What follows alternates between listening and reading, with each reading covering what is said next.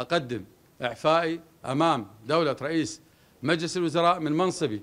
تركة ثقيلة بحجم النجف ومكانتها الدينية والسياسية خلفها محافظها المستقيل لؤي الياسري مواصفات إدارية ومهام شتى لم ينسى النجفيون طرحها أمام بديل الياسري أبرزها يستفيد من التجارب السابقة ويكون مستقلا من الأحزاب التي آتت فسادا في المحافظة. تردي في مختلف المجالات الخدمية الاجتماعية الاقتصادية الصحية وكثير من الملفات الأخرى.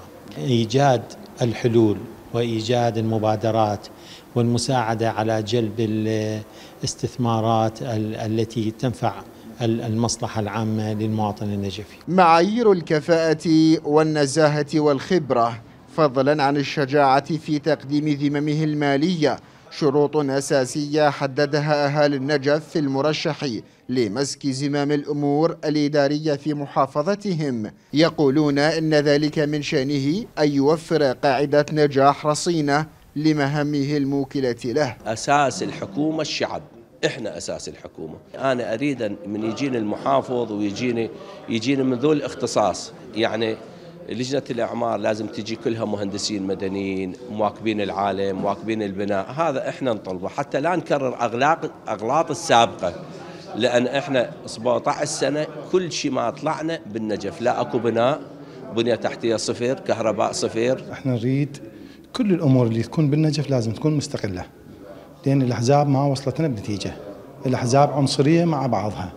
والناس اليوم ذو العقول ما وصلت ويا الأحزاب بنتيجة يعني أنا اليوم نريد النجف تتطور أجيب النخب والناس المستقلة والناس اللي عندها براءة. اجتماعات مكثفة لوجهاء النجف وأعيانها تعقد بشكل شبه يومي في المحافظة وذلك قبيل حسم منصب المحافظ الذي ينتظر منه الكثير. مهام جسيمة تنتظر المحافظ الجديد للنجف التي يصبو أهلها إلى واقع مغاير يحقق الإصلاح المنشود على مختلف الصعد. من النجف محمد رزاق التغيير.